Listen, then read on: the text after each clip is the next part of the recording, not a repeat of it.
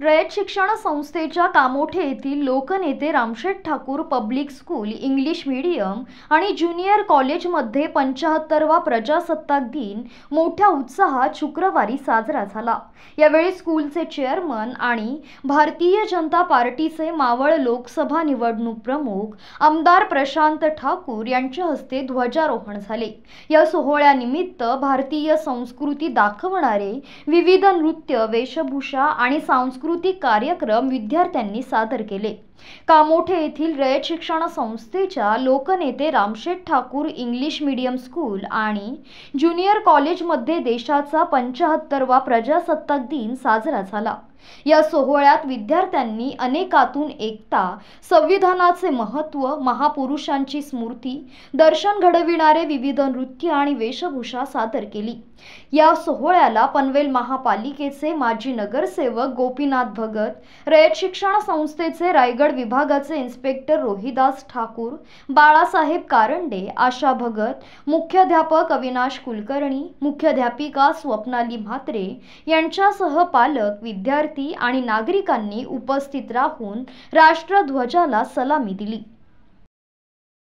जो आज हमने कॉन्स्टिट्यूशन ऑफ इंडिया का प्रीएम्बल पढ़ा कि जिसमें लिखा था justice for all liberty of thoughts and expression equality and fraternity इसका अनुभव सही मायने में अब देश जब अपना पचहत्तरवा गणतंत्र दिन मना रहा है, उस वक्त हो रहा है, देश के प्रधानमंत्री नरेंद्र मोदी जी इसके लिए जी तोड़ मेहनत कर रहे हैं। जो प्रोजेक्ट्स वो मन में ठान लेते हैं, उसे पूरा करने के लिए अपना पूरा पसीना बहाते हैं।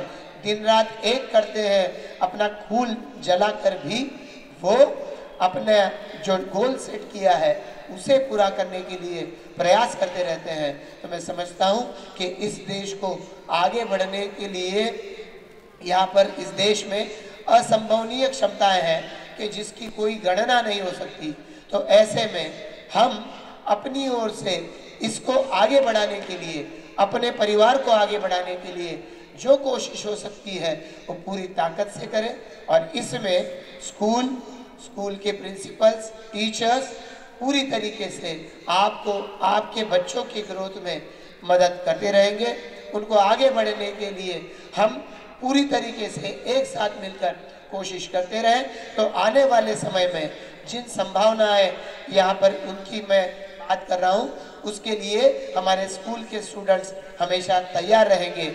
आज इस अवसर पर मैं आप सभी को फिर एक बार ये शुभकामनाएँ देना चाहता हूँ, क्योंकि एक और एक कार्यक्रम के लिए आगे जाना है, इसके लिए स्कूल के कार्यक्रम के बीच में ही मैंने अपनी बात को रखने का यहाँ पर निर्णय लिया।